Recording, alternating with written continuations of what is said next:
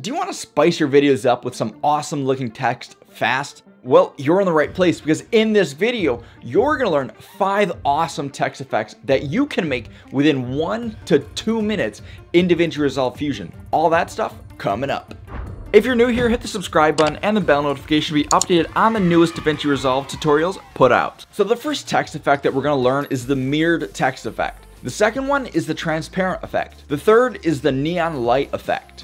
The fourth is the 3D effect. And finally, the fifth is the write on text effect. So let's just jump into Resolve and I'm gonna show you how all of these are done. So the first we're gonna learn is the mirrored text effect. So in Fusion, you have your background or media in and your media out. What you're gonna do is you're gonna add in a merge node and then a text node and connect the text node to the merge node. Then enter your text and pick the font. All these fonts, by the way, are linked in the description as usual. Increase the size of your text and reposition it so that you have enough room for the reflection below. Next, copy the text node with Control C and paste it with Control V, and then add in a merge node under text 1 and then connect both texts together. Then under the new text, what you're going to do is you're going to add a transform node and in the inspector tab, select flip horizontally. And now you're gonna see that we have the beginning of the mirror effect. Next, grab the rectangle mask and add it to your mirrored text. Expand the mask so it isn't being cut off on the sides. Then, in the inspector tab, soften the edge of the mask to 0.074. So now you can see that we have this mirror effect right here. All that's left for this is that we're gonna animate the mirror reveal. So go to frame 45 and actually add your ending point first and click the diamond button to add a new keyframe, then move to frame 20 and drag the mask up to where you can't see the mirrored text at all. So now you see we have this kind of mirrored reveal effect. So the last thing to do is to add some Gaussian blur after this transform node and then just adjust the blur amount in the inspector tab. This is really gonna sell the reflection effect. So let's move on to our second effect, which is the transparent effect. This one is super easy. So in your Fusion comp, add a background node, and while the background is selected, also add a text node. You can see that it's just combined together with a merge node. So enter your text, for me it's just city, and then increase the size to however big you want it. You can also add a transform node under the text node if you want to make your text even bigger, but you don't have to do this. It's only if you want to make your text bigger. So click on this merge node and then go to the operator tab and select XOR. So this is actually going to make the text transparent. And finally, just merge the text together with your media. And now you can see that the video is actually playing through the text. You can also change the color of the background and even replace the background node with video by deleting the background node and connecting an image or like a video to the merge node. All right, so moving on to our third effect, the neon light effect. First, add your text node and then enter your text, then choose the font. For this one, it's actually pretty important, so I'm using Reef. So increase the size of the font to whatever you want, then make the text color something bright. This looks pretty good right here. Then you're gonna copy and paste that text node two times. One's gonna be disconnected up here, and the other one you wanna merge after the media in node.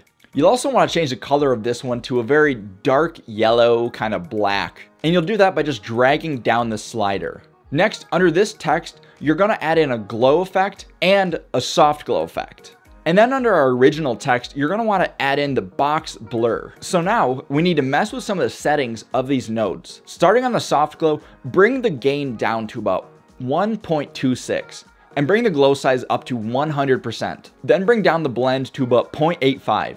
Next, under the glow node, change the apply mode from normal to threshold. And then on the high end, drag the slider down to about 0.7. Now move to the box blur and put it in your viewer and drag the vertical and horizontal strength up to about 0.95. What you're gonna do next is merge both of these texts together and then merge that with the rest of the stuff. So now you see we have this neon glow effect. And the final step for this is to make the flicker effect.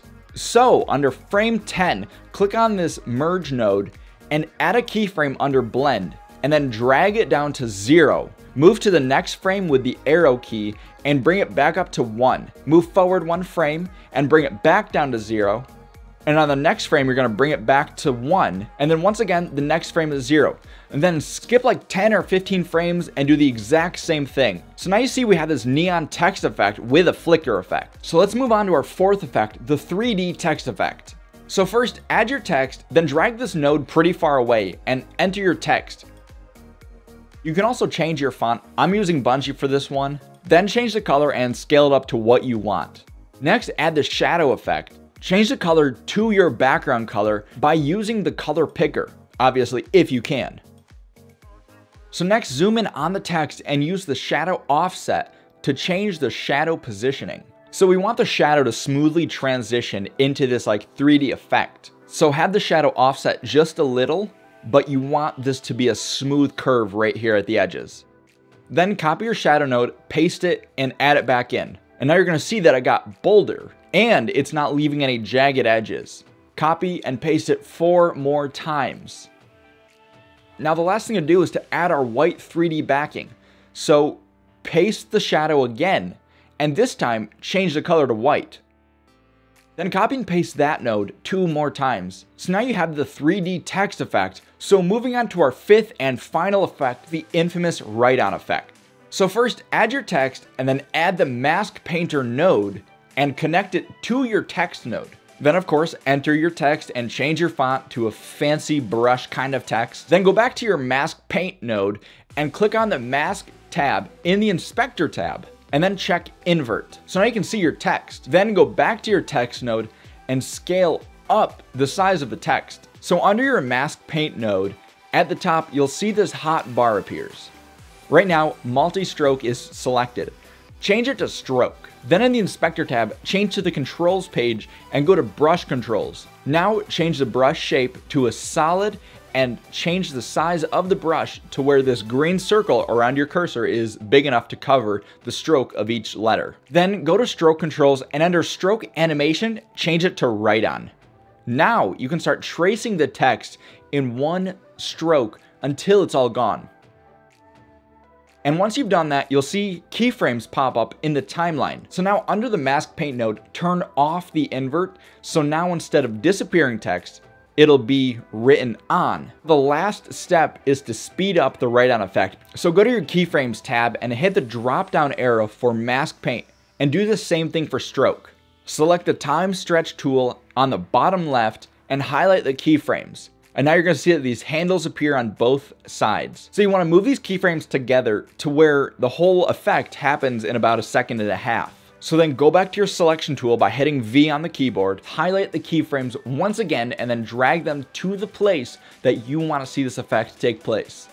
So there you go, five super simple text effects in DaVinci Resolve Fusion. If you have any suggestions for other text effects, let me know in the comments below, and I may actually make a part two of this. So that could be pretty cool. Last week, I told y'all I was going to give away five copies of my social media lower thirds pack.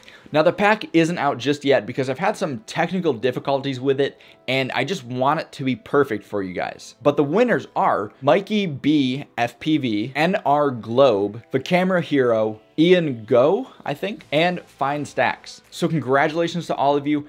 I'm going to be messaging you so if you thought this video was helpful, hit the like button, and if you liked me, hit the subscribe button, and if you really like me, share this video. It helps way more than you guys understand.